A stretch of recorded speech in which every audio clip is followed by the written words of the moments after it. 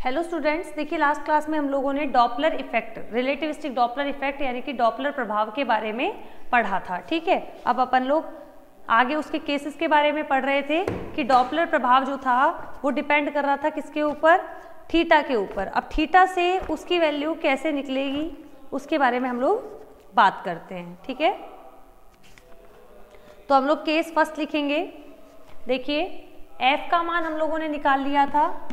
F बराबर F dash upon gamma one minus beta cos theta लिखा था ना? तो यही हमको अब आगे यहाँ पे केस करना है। फ़र्स्ट है फ़र्स्ट केस हमारा है अनुदैर्ध्य डॉपलर प्रभाव। पहला है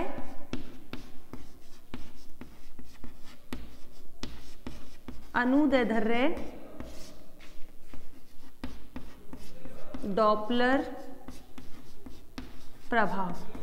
इंग्लिश वाले लिखेंगे अनुदैर्ध्य को लिखते हैं longitudinal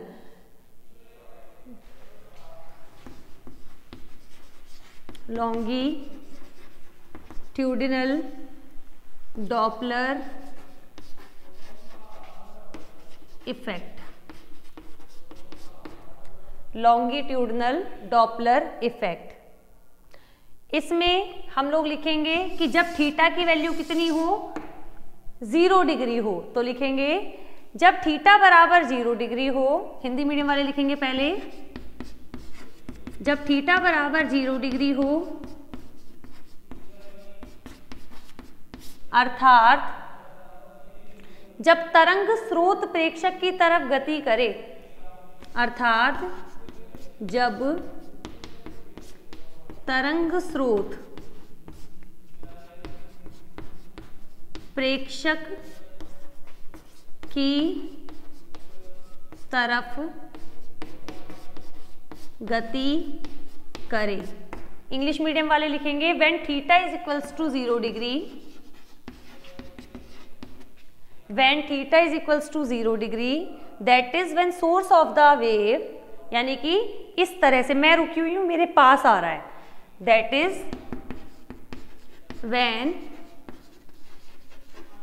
source when source of the when source of the wave is moving is moving towards the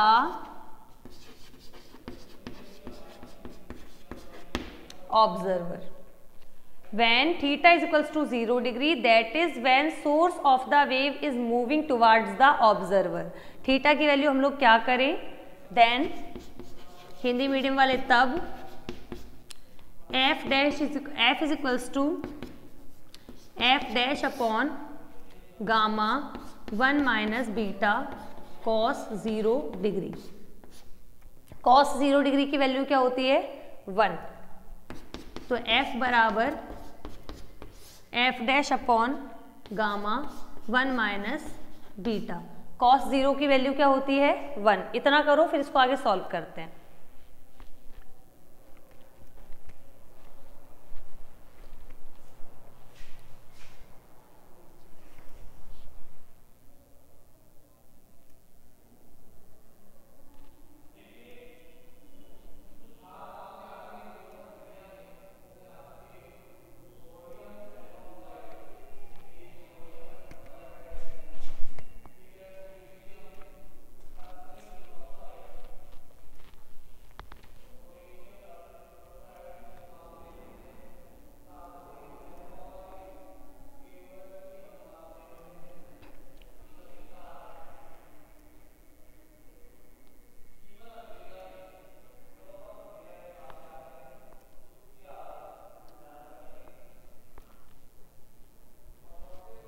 आगे करते हैं इसको।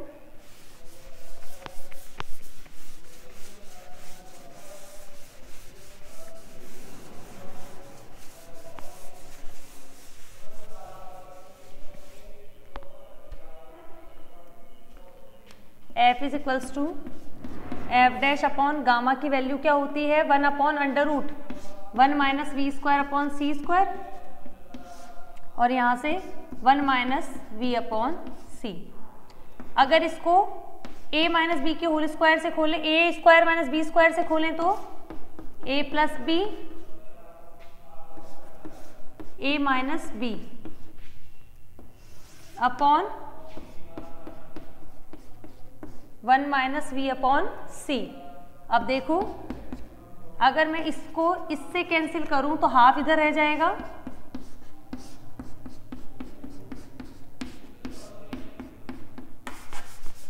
या नीचे रह जाएगा।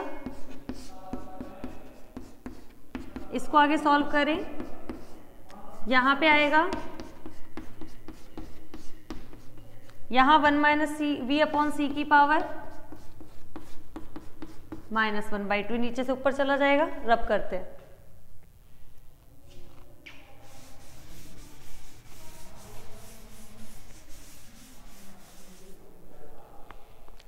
बायनोमियल थ्योरम यूज़ लेंगे, यानी द्विपद प्रमेय तो एफ़ डैश यहाँ पे one plus V upon two C higher terms को नेग्लेक्ट करेंगे, उच्च घातों को नगण्य लेंगे। One plus V upon C उच्च घातों को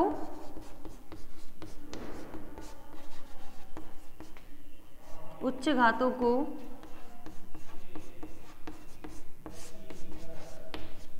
नगण्य लेने पर। नेग्लेक्टिंग हायर टर्म्स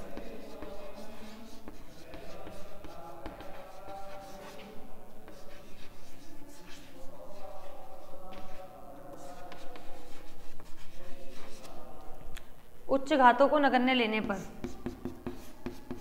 वन को वन से मल्टीप्लाई किया, वन। यहाँ पे टू सी आएगा ना वन को टू सी से किया तो वी अपॉन टू सी फिर इस v अपॉन टू सी को वन से किया तो v upon two C V upon two C को v अपॉन टू सी से किया तो v स्क्वायर अपॉन में फोर सी स्क्वायर जब v अपॉन सी बहुत छोटा है तो v square upon two four C square बहुत छोटा होगा तो उनको तो नेग्लेक्ट कर देंगे। तो f बराबर F dash one plus V upon two C V upon two C one plus V upon C सही है? यहाँ से एफ़ डैश की वैल्यू आ गई F upon one plus V upon C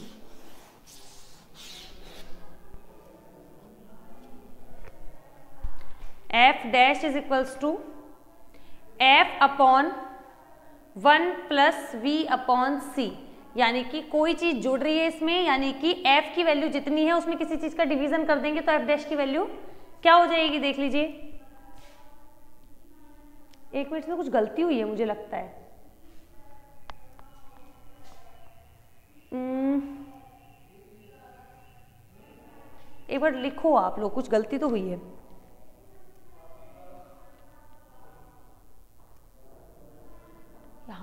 यहाँ पे गलती हुई है।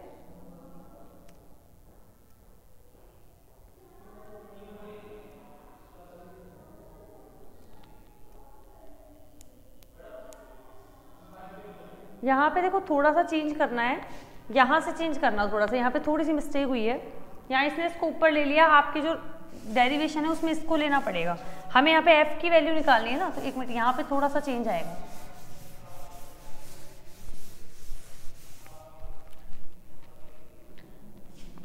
यहाँ इसको नीचे ले जाना है ना?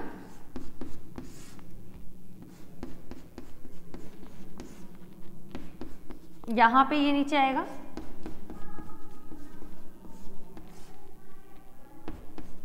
ऐसे, अब करना सॉल्व करो बायनोमियल थ्योरम द्विपद प्रमेय से। जब सॉल्व करोगी तो वन और बाकी हाइयर टर्म्स को ज़ीरो कर देंगे। F dash upon one minus V upon C अब सही। यानी कि एफ़ की वैल्यू आ रही है F dash upon one minus V upon C यानी कि कुछ घट रहा है, ये चीज़ कम तो ये चीज़ ज़्यादा तो एफ़ की वैल्यू बढ़ जाएगी यहाँ से। नोट करो।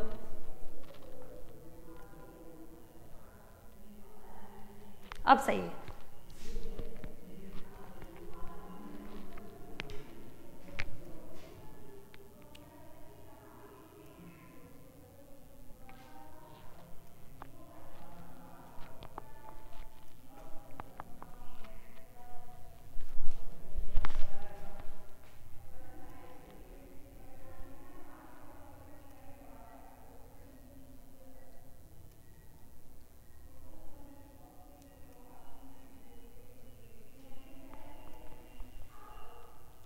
अब दूसरा केस हम लोग करेंगे जब थीटा की वैल्यू जो है वो 180 डिग्री हो।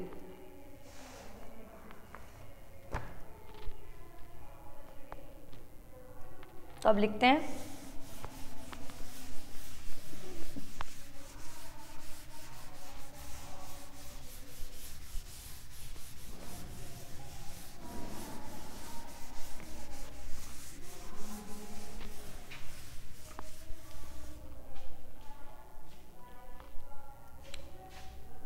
सेकंड केस केस लिख रखा था, जो भी लिख रखा था।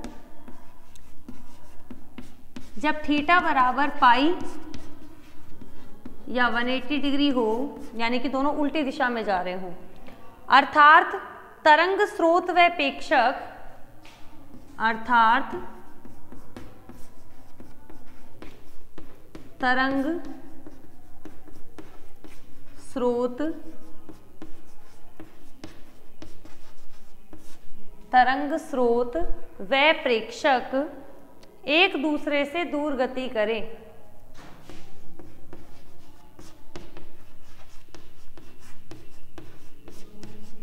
एक दूसरे से दूर।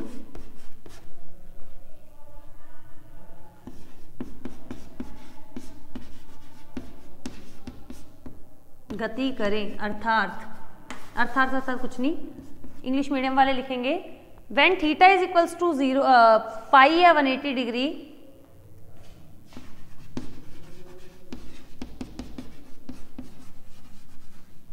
that is या that is लिखना that is when source of the wave is moving away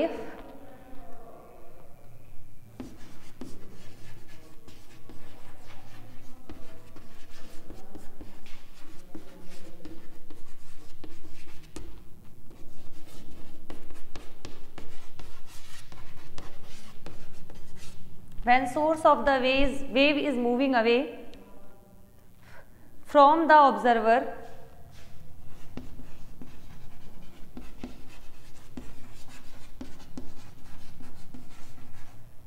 from the observer then from equation 11 sorry equation वगैरह मत लिखना देन सिर्फ़ कुछ भी मत लिखना यहाँ से f इज़ इक्वल्स टू था f डैश अपॉन में gamma one minus beta cos pi cos pi आ जाएगा।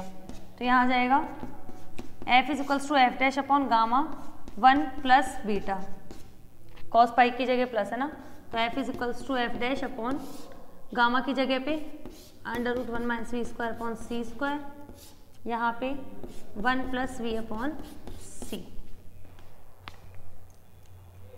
ठीक है? सॉल्व करेंगे।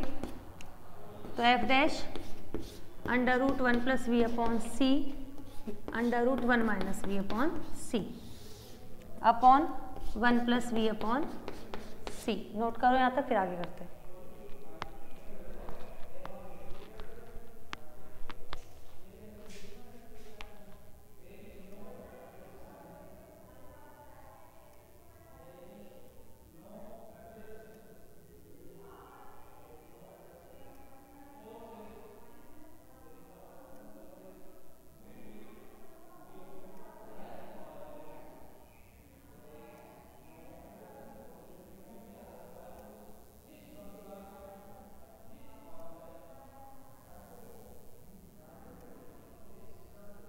आगे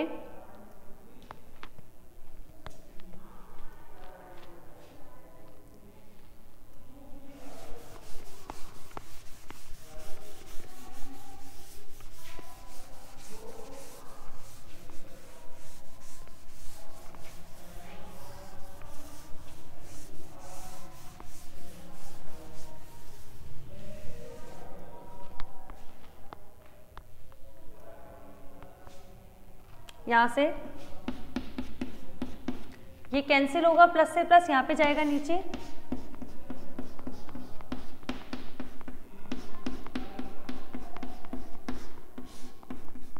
ठीक है? यहाँ पे। द्विपद प्रमेय, वही बाइनोमियल थ्योरम ये पावर लगा। ठीक है? अब सॉल्व करते हैं इसको। इसको नीचे वाले को रब कर देते हैं।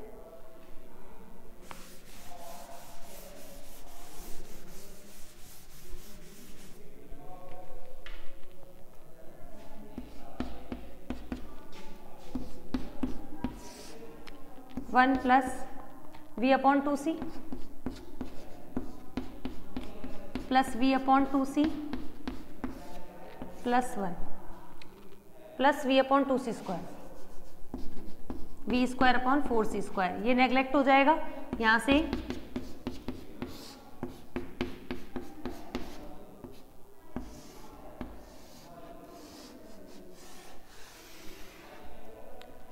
यानी कि यहाँ पे पहले वन माइनस था, यहाँ वन प्लस है, यानी फ्रीक्वेंसी कम हो जाएगी। जब कोई चीज़ दूर हटती जाएगी तो साउंड कम होती चली जाएगी। ये नोट करो ऐसे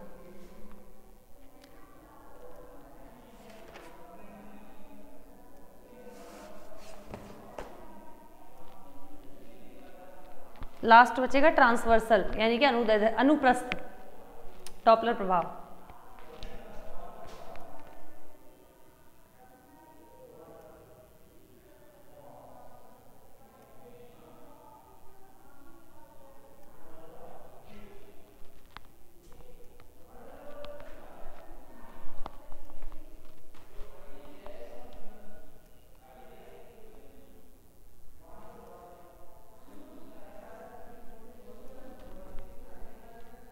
आगे करते हैं।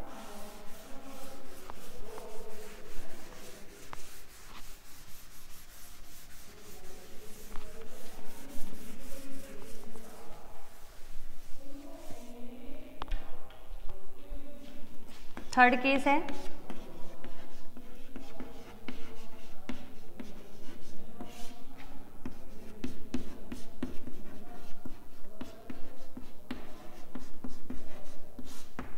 अनुप्रस्थ डॉपलर प्रभाव यानी कि ट्रांस वर्सल डॉपलर इफ़ेक्ट इसमें क्या होता है? थीटा की वैल्यू ज़ीरो डिग्री होती है। तो इसमें लिखेंगे, जब थीटा बराबर ज़ीरो डिग्री। इंग्लिश वाले लिख लेंगे वैन थीटा, नहीं 90 डिग्री 90 डिग्री। ट्रांसवर्सल यानी 90 डिग्री पे मूव करे, यानी परपेंडिकुलर तो एफ़ इक्वल्स टू था कॉज 90 डिग्री कॉज 90 डिग्री की वैल्यू क्या होती है? वन। सॉरी ज़ीरो और ज़ीरो वन में से गया तो वन। तो एफ़ डैश अपॉन गामा तो गामा की वैल्यू ये हो जाएगा। तो यहाँ से एफ़ की वैल्यू अपने पास आ गई ये। नोट करो। यहाँ से अपना डॉपलर इफ़ेक्ट वाला जो टॉपिक है वो कंप्लीट हो गया। अब इस यूनिट का लास्ट टॉपिक बचा है चतुर्विम आवृत्ति, यानी कि फोर फ्रीक्वेंसी नोट करो।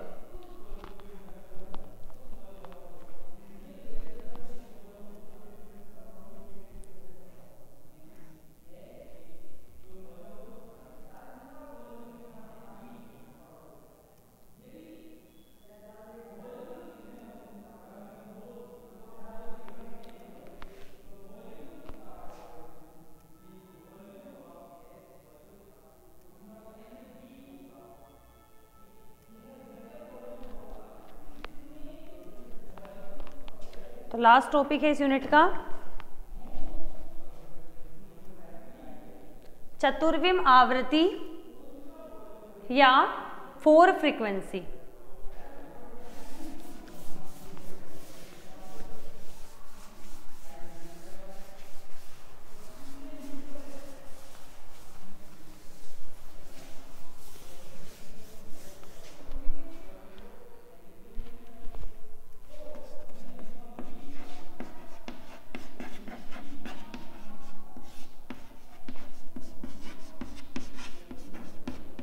इंग्लिश में लिखेंगे इसको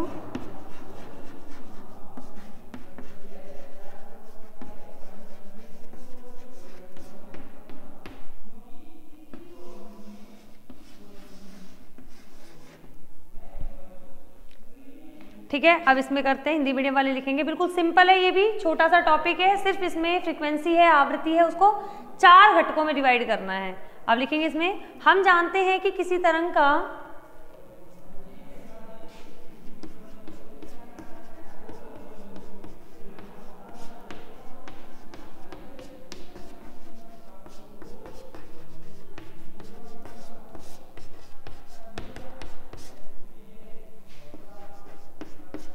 हम जानते हैं कि किसी तरंग का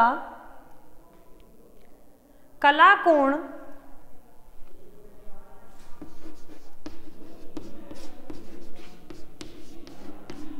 सभी जड़त्वीय सभी जड़त्वीय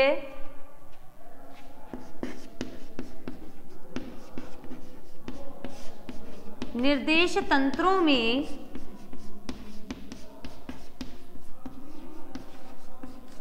निश्चर रहता है।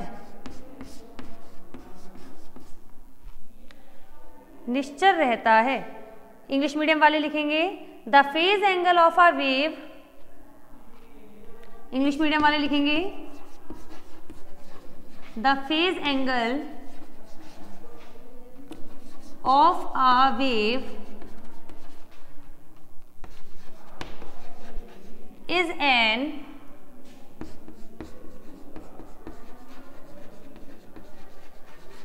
invariant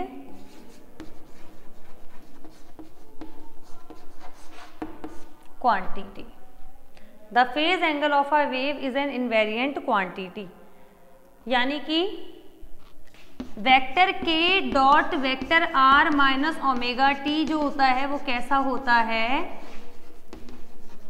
इनवेरियंट यानी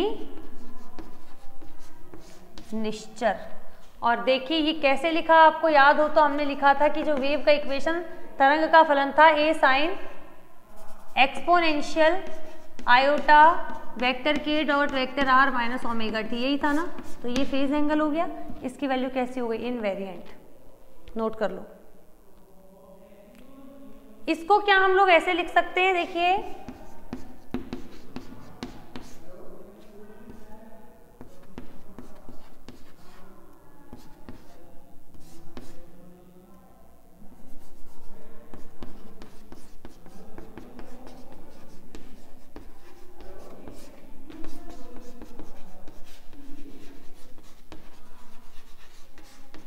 इसका मतलब समझ रहे हो? अगर आप इसको ओपन करोगे तो सी से सी तो कट गया। आयोटा स्क्वायर माइनस और ओमेगा टी ये क्यों लिखा है? क्योंकि देखो, तीन घटक तो इसमें स्थिति के पोजीशन के यहाँ आ जाएँगे थ्री कोऑर्डिनेट्स तो। और फोर्थ कोऑर्डिनेट यानी चौथा घटक होता है आयोटा सी टी इसीलिए हमने इसको यहाँ पे ऐसे लिखा है। तो अब इसको कैसे लिख सकते हैं हम लोग? इसका एक्स घटक, इसका एक्स घटक। के एक्स एक्स इसका वाई घटक, इसका वाई घटक। के वाई वाई इसका जेड घटक, इसका जेड घटक। के जेड जेड प्लस इसको क्या लिख सकते हैं? के फोर और इसको क्या बोल सकते हैं? आयोटा सी टी ये कैसा है? निश्चल, यानी इनवेरिएंट समझ रहे हो इसका मतलब? यहाँ से के फोर की वैल्यू आई आयोटा ओमेगा अपॉन सी और ये आयोटा सी थी तो फोर्थ घटक है ही। नोट करो इसको।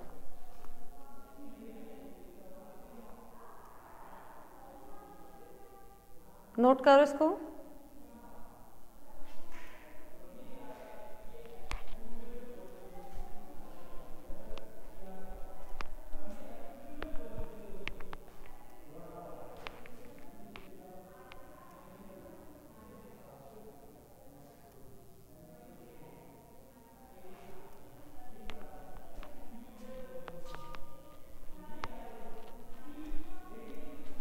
आगे ऊपर से बता देती हूँ मैं इसको।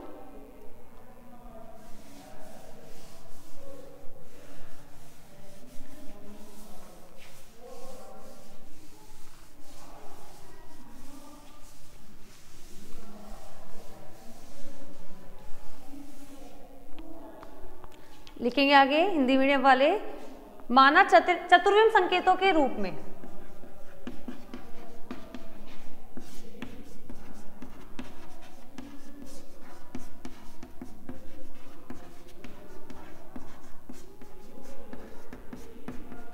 चतुर्विम संकेतों के रूप में।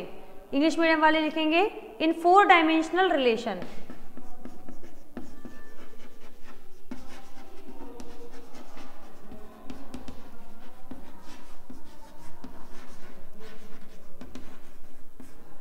in four dimensional relation four dimensional relation जो है, उसमें देखेंगे इसको। K one X one plus K two X two plus K three, X three. Plus K four, X four.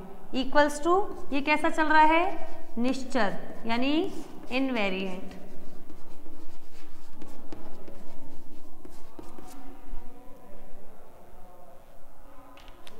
अब इसको नीचे से रब करती हूँ मैं।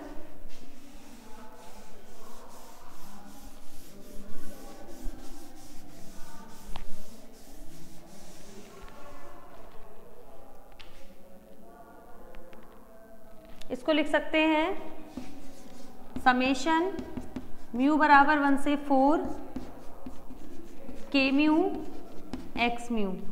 ये कैसा होगा? निश्चर। यानी इनवेरिएंट।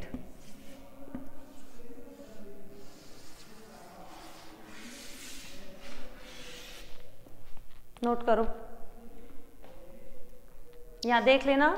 यहाँ इंग्लिश मीडियम वाले लिख देंगे हेयर एक्स वन है एक्स एक्स टू है वाई एक्स थ्री है जेड एक्स फोर है iota C T K one है के एक्स के टू है के वाई के थ्री है के जेड के फोर है iota omega upon C note करो।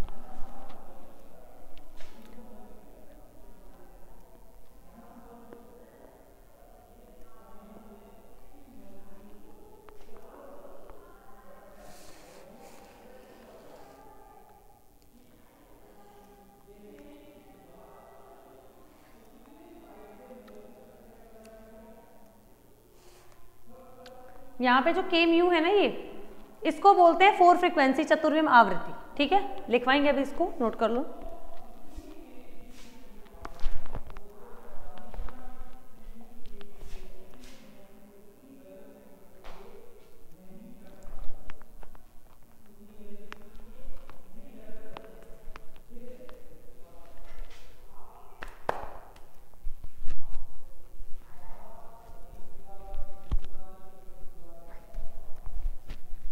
देखिए लिखेंगे यहाँ पे।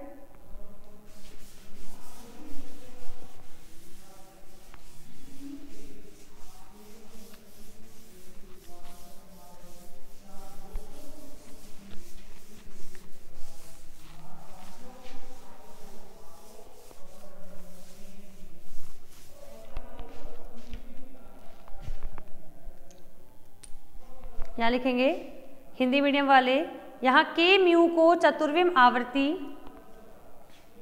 यहाँ के म्यू को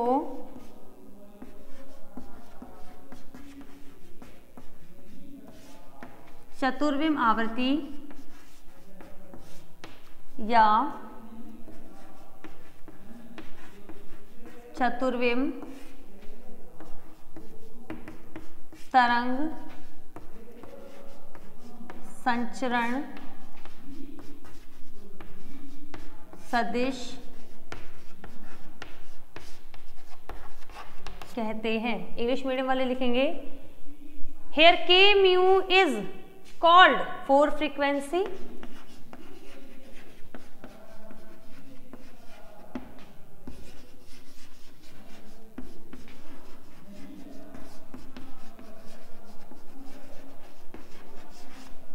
here k mu is called four frequency और फोर वेव प्रोपेगेशन वेक्टर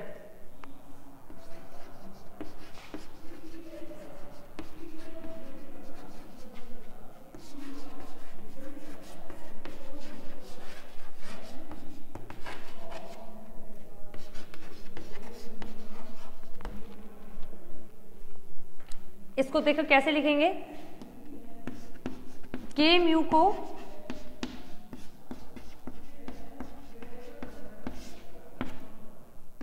निम्न प्रकार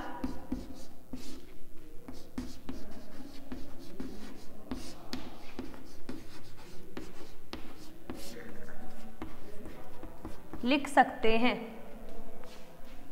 लिखेंगे इंग्लिश मीडियम वाले K mu dash, can be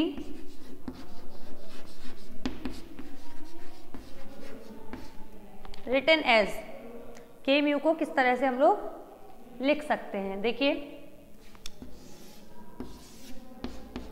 K one dash K two dash K three dash K four dash K one K two K three K four gamma zero zero iota beta gamma zero one zero zero zero zero, one zero, minus iota beta gamma, zero zero, one.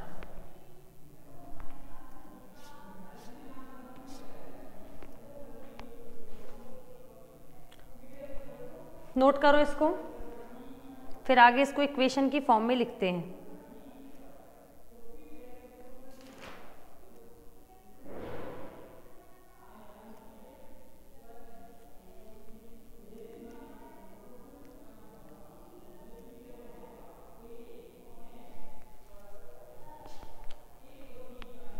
यहाँ पे लिखना। समीकरण रूप ने, रूप में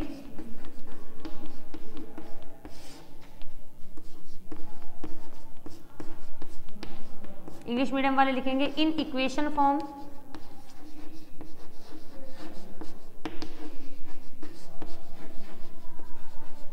क्या आएगा? के वन डैश बराबर gamma K one plus iota beta K four. K two dash बराबर के टू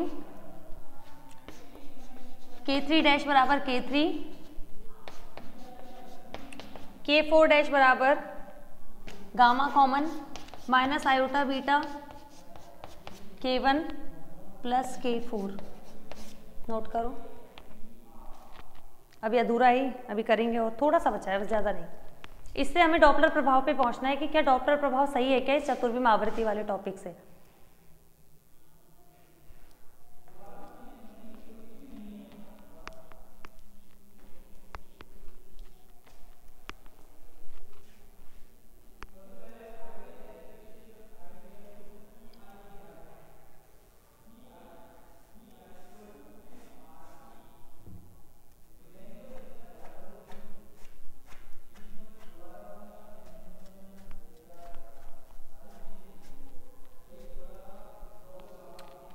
करो।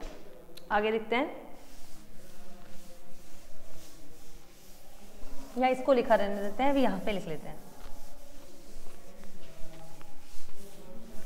क्योंकि इसी चौथी समीकरण का, चौथी इक्वेशन का हमें भी यूज़ करना है। ठीक है? अब आगे लिखेंगे। यहाँ हेयर देखिए के वन होगा और के टू होगा K1 जो है, उसकी वैल्यू तो होगी K कॉस थीटा ध्यान रखना, क्यों? हम लोगों ने जब इंटरप्रिटेशन पढ़ा था थीटा एंगल पे घुमा हुआ रोटेशन पढ़ा था, ठीक है, घूर्णन पढ़ा था तो हमने पढ़ाया था के की value k cos theta cos theta sine theta minus sine theta cos theta पढ़ा था ना? तो के वन की वैल्यू के कॉस थीटा जिसे हम के एक्स भी बोल सकते हैं। और के वन डैश की जो वैल्यू आती है, वो आएगी के डैश कॉस थीटा डैश इसको हम लोग बोलेंगे के एक्स डैश यहाँ पे थीटा और थीटा डैश क्या है? थीटा तो एस फ्रेम ऑफ़ रेफरेंस में एस निर्देश तंत्र में एंगल है और थीटा डैश एस डैश में है। तो हम लोग क्या लिखेंगे यहाँ पे? जहाँ निर्देश तंत्रों एस व एस डैश में, अभी हिंदी मीडियम के लिए बता रही हूँ।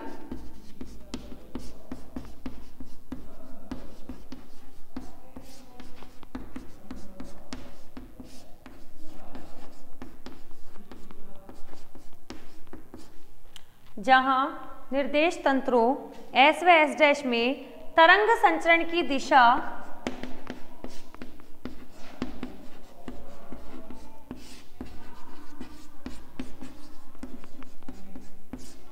तरंग संचरण की दिशा व तंत्र की गति के मध्य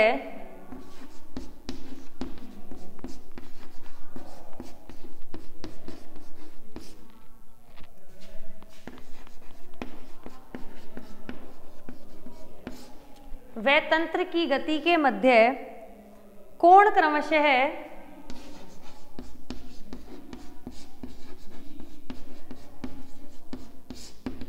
थीटा वे थीटा डैश हैं। थीटा और थीटा डैश अलग अलग फ्रेम ऑफ़ रेफरेंसेस में एंगल है। यहाँ पे लिख देंगे, इंग्लिश मीडियम वाले here theta is the angle between या फिर here theta and theta dash are the angles between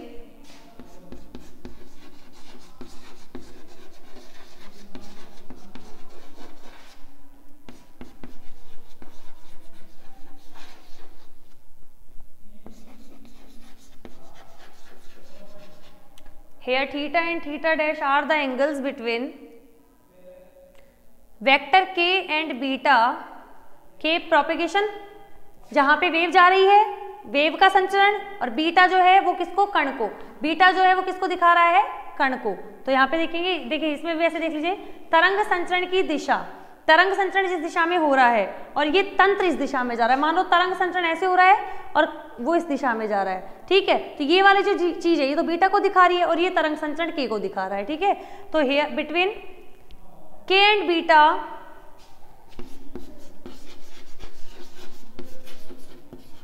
in S and S dash frames.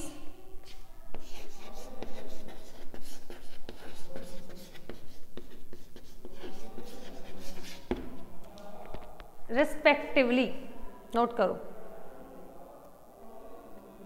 Respectively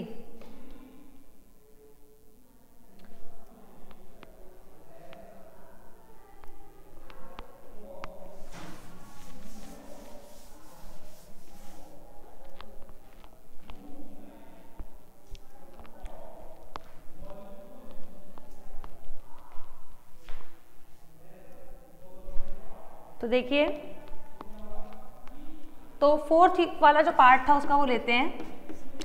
के फोर डैश बराबर gamma minus iota beta k one plus k four यही था। इसकी value जाएगी iota omega dash upon c gamma minus iota beta k one की जगह भी अपन ने देखा। K cos theta plus k four की जगह क्या आएगा? आयोटा ओमेगा कौन सी? तो iota omega dash upon omega upon c. यहाँ पे ओमेगा अपॉन सी? यहाँ पे ओमेगा डैश अपॉन सी, ठीक है? हो गया। यहाँ तक नोट करो।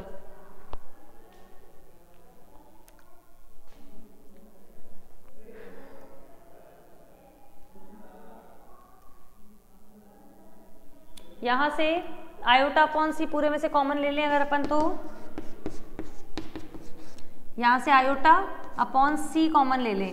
यहाँ पे बचेगा माइनस बीटा यहाँ पे न, क्या बचेगा?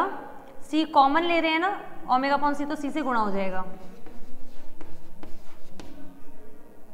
प्लस ओमेगा यही आएगा ना आयोटा अपॉन सी से iota upon c cancel omega dash is equals to omega यहाँ तक नोट करो एक बार। हाँ के इंटू सी ओमेगा हो जाएगा ना ऐसे।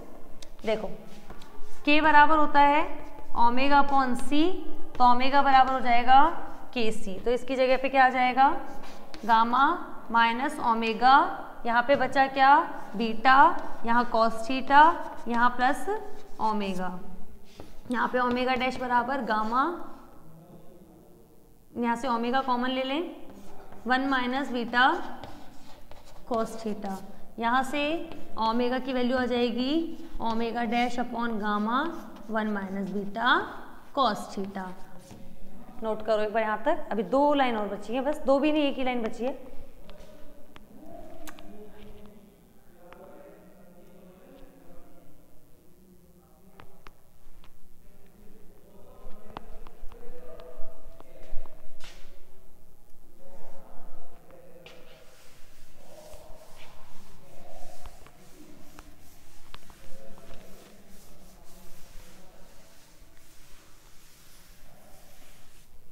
ठीक है? अब देखो। यहाँ से ओमेगा होता है टू पाई एफ़ यहाँ पे रखा two pi f is equals to two pi f dash gamma one minus beta cos theta two pi से two pi cancel f is equals to आया f dash upon gamma one minus beta cos theta ये हमारे पास Doppler effect को दिखा रहा है, जो answer इससे आया है। इसका मतलब ये टॉपिक हमारा यहाँ पे बिल्कुल सही है। तो इस टॉपिक के साथ अपनी सेकेंड यूनिट मैथमेटिकल फिजिक्स की हो गई कंप्लीट तो आप लोग लिख लो इसको।